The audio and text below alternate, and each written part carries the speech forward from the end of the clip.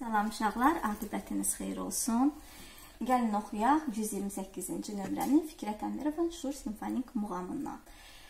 Fikrət Əmirov Azərbaycanın görkəmli bəstəkarlarından biridir. Fikrət Əmirovun adı Azərbaycan musiqisinə ilk lirik psixoloji opera Sevil operasının banisi kimi daxil oldu. Yəni əgər rus musiqisində Pyotr İliç Çaykovski öz ə, Yevgeniy Onegin operası ilə ilk lirik psixoloji operasının təməlini qoydusa rus musiqisində, Azərbaycan musiqisində ilk lirik psixoloji operanın banisi ə, Fikrət Əmirovdur. Sevil operası ilə bu operanın təməlini qoydu. Ə, lirik psixoloji opera janrının təməlini qoydu Azərbaycan musiqisində. Bundan əlavə Fikrət Əmirov ə, bir çox ə, janrlara müraciət etdi. O cümlədən ə, Fikrət Əmirovan demək konsertləri, ilk konsertin müəllifidir. Fikrət Əmirov ə, ilk dəfə ə, simfoniyaya vals janrını daxil edən bəstəkardır Fikrət Əmirov. Ə, hətta nəinki ikili konsertin, ə, ilk konsertin, ilk konsert janrının təməlini qoyan bəstəkardır Azərbaycan musiqisində. Həm də ilk ikili konsertin müəllifi Fikrət Əmirovdur. İlk üçlü konsert isə Azər Rzayeva məxsusdur və ə, Fikrət Əmirov dünya musiqi tarixində elə bir şəxsiyyətdir ki, simfonik musiqi sahəsində yeni bir səhifə açdı, yeni bir üfüqlər açdı, yeni bir janr yaratdı. Bir tərəfdən Qərbin, Şərqin muğam kimi ən dərin mənalı fəlsəfi bir janrı olan muğamları, digər tərəfdən Qərbin ən klassik, ən samballı, ən fəlsəfi, dərin düşüncəli şah zirvə janrı olan ə, simfoniya ilə birləşdirdi.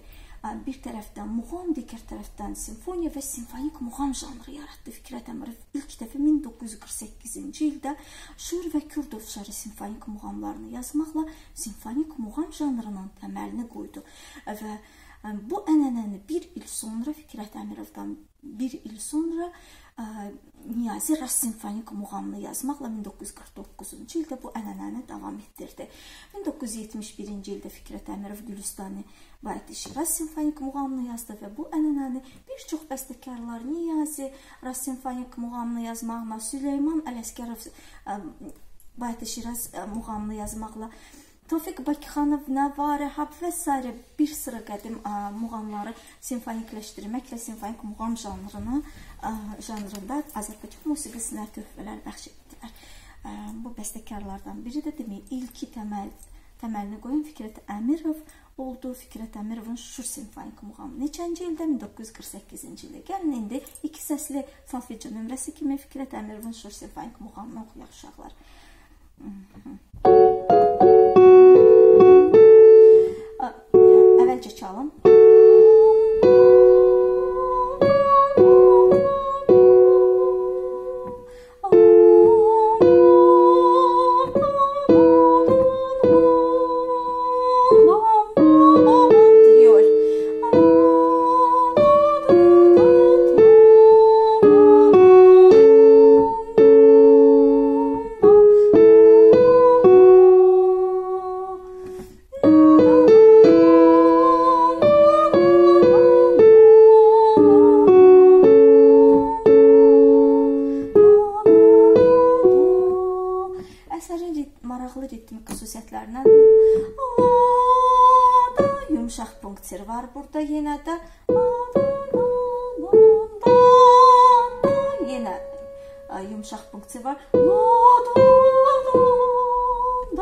xromatizm var.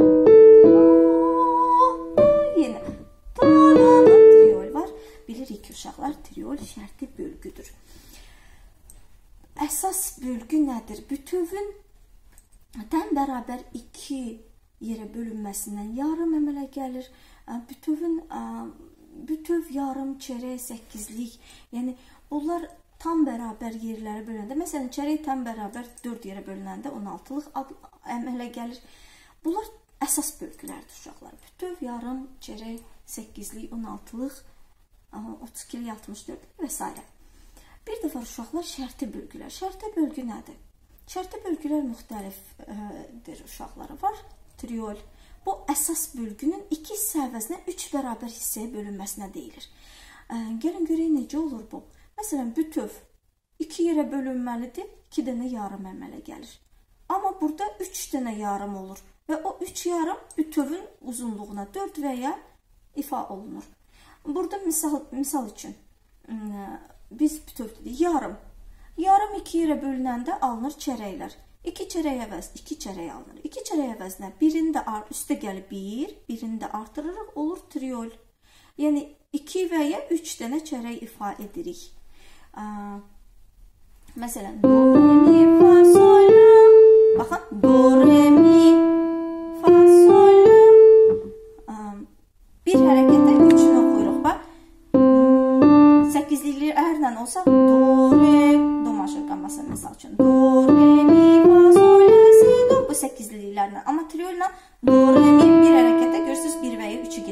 Do, re, mi, Sonra çərək, si çərək, do çərək, do si la, sol fa mi, re çərək, do çərək, do si la. Görürsünüz triolda. Üçlük. Üçü bir vəyə gedir. Əslində 2 8-lik getməli idi. Əsas bölgüdə bütöv böl 2 bərabərdir 2 dənə 8-lik. Bu əsas bölgüdür. Amma üstə gəl 1 olur triol. Aydındır? Əsas bölgünün 2 hissə əvəzinə 3 bərabər hissəyə bölünməsinə triol deyilir və bu şərti bölgülərdəndir. Bax, burada da var. Allah da da da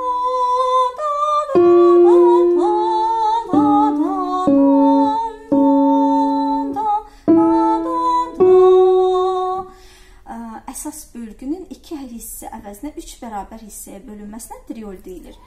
Var uşaqlar dol 3 bərabər hissə əvəzinə, əsas bölgünün 3 bərabər hissə əvəzinə 2 hissəyə bölünməsinə dual deyilir. Burada da 3 hissəli ölçülərdə götürülür. Misal üçün bütöv yanında nöqtə, nöqtəli bütöv, nöqtəli yarım, nöqtəli yarım.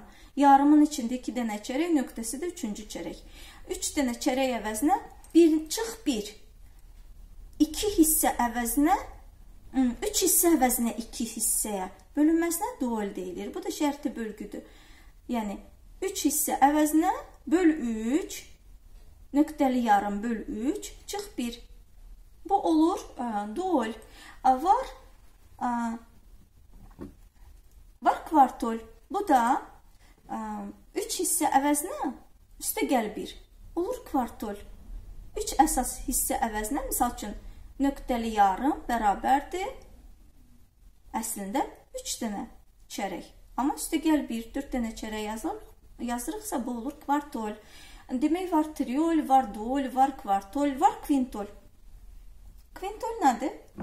Əsas bölgünün 4 hissə əvəzinə 5 hissəyə bölünməsinə kvintol deyilir uşaqlar. Baxaq, əsas bölgüdə bütöv bölünür 4 yerə, çərəklər alınır 4 çərək. Üstə gəl 1 yazırıq, olur 5 çərək. Bu kvintoldur. Sekstol nədir? Yenə də əsas bölgünün 4 hissə əvəzinə 6 bərabər hissəyə bölünməsinə sekstol deyilir. Yəni bütövün döv böl 4 üstə gəl 2 oldu sekstol. Bütöv böl 4 üstə gəl 3 oldu septol. Əsas bölgünün 4 hissə əvəzinə 7 bərabər hissəyə bölünməsinə septol deyilir. Var novomol, desimol əsas bölgünün 8 bərabər hissə əvəzinə 9 hissəyə bölünməsinə 8 böl 8 üstə gəl 1 olur novomol. Əsas bölgünün 10 bərabər hissə 8 əvəzinə 8 hissə əvəzinə 10 bərabər hissəyə bölünməsinə novomol deyilir. Yəni desimol deyilir. Novomol 9-dur. Desimol 10-dur. 8 böl 8 üstə gəl 2. Bu desimoldur. Aydın oldu uşaqlar. E, yəni triol 2 əvəz 2 böl 2 üstə gəl 1, duol böl 3 çıx 1, kvartol böl 3 üstə gəl 1, kvintol böl 4 üstə gəl 1, sekstol böl 4 üstə gəl 6, nə, böl 4 üstə gəl 2 olur 6 ə, sekstol. Septol böl 4 üstə gəl 3 olur 7 novomol böl 8 üstə gəl 1 olur 9. Desimol Böl 8 üstə gəl 2 olur desimal. Aydındır bunlar şərti bölgülərimizdir. İndi keçək ə, Fikrət Əmirovun Şur simfonik muğamına. Və oxuyaq yuxarı səsi. Aşağı alt səsi çalırıq, üst səsi oxuyuruq və əlimizlə, sağ əlimizlə də dirijorluq edirik. Əlasi. Do,